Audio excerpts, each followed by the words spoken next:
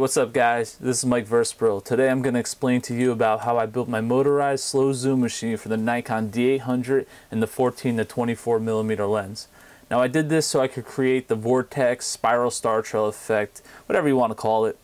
You could also use this device to zoom in while doing a time lapse so it has other purposes other than just star trails.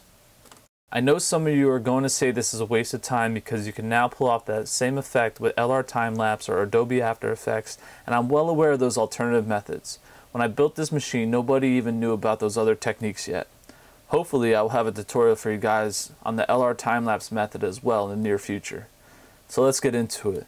Most of the parts will be listed on this video description, and unfortunately, I don't remember each gear size I used.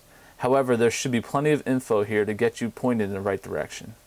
To create this machine, you'll need a motor, power supply, gears, a frame, and a control box. This is where ServoCity.com came in real handy, and I was able to get most of what you see from them.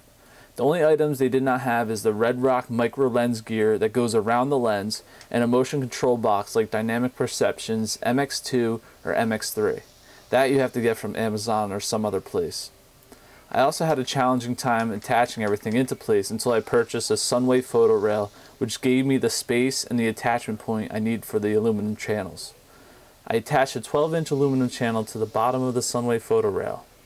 Then I attached a 9 inch aluminum channel vertically to the 12 inch to hold the motor and gears.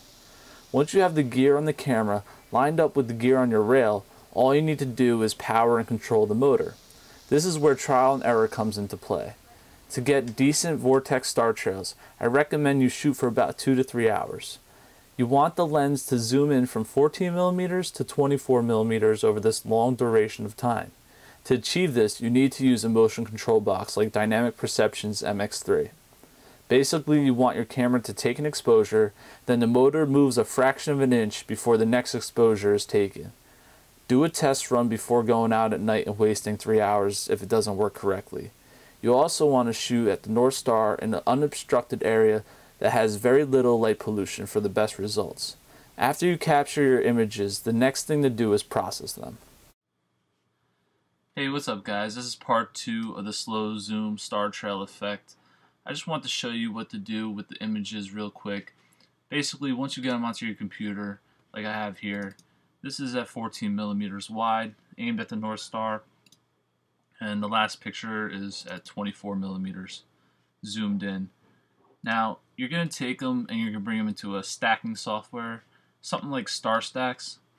Once you have your images, um, you just drop them in like so. Now, the best way I found to process these images is using comet mode, long trails, and then that's it. Hit submit. Now, I'm not going to let you sit here through this whole thing but I'll show you what it looks like. Should get that. And then the second option is putting in reverse and it looks very similar just spinning a different direction now. So yeah, and then you would take this and you would take uh, a foreground picture and you would blend the two. So you would get an image similar to this there you have it. I'm not going to go into detail of how to edit all this. Um, I'll do it in a different video. It takes several hours. Um, but this is just a basic basic idea of what you can do with this technique. Alright, I hope this tutorial helps. Take care.